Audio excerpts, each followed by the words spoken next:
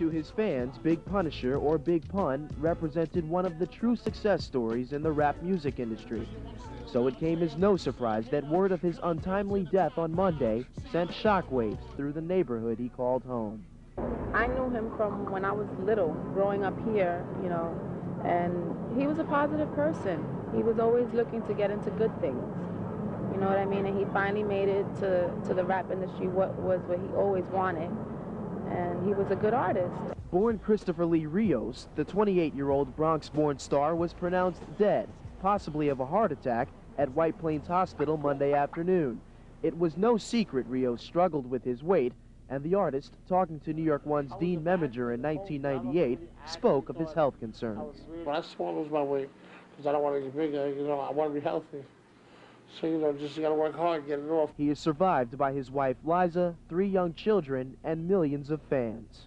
As a testament to his impact, a group of young artists have chosen this wall as the site for a new mural, designed and painted in Big Pun's memory. He was a friend. Not only was he a friend, but he was a Latino who was out here representing, you know, for our people. And it's only right that we come out to represent for him as a friend and as a people. You know what I'm saying? He was someone who was a positive image, a role model in this community for the kids coming up. As the first Latino rap artist to sell more than a million albums, with his debut entitled Capital Punishment, Rios enjoyed his stardom.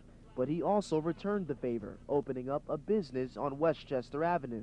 I'm experimenting right now, trying to open something where the kids get out the cold in the winter, especially play little pool, video games, you know, hang out, got the barbershop next door. If this is successful, I'll lock 10, 20 more all over the Bronx. But Big Pun's reach extended well beyond the Latino neighborhoods of New York City.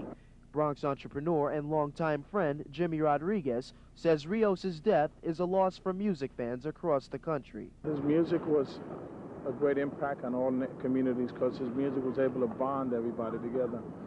And um, when you can see kids in Arkansas singing his music, saying Boricua Morena, coming together, two communities, I mean, some that we've always been able to do.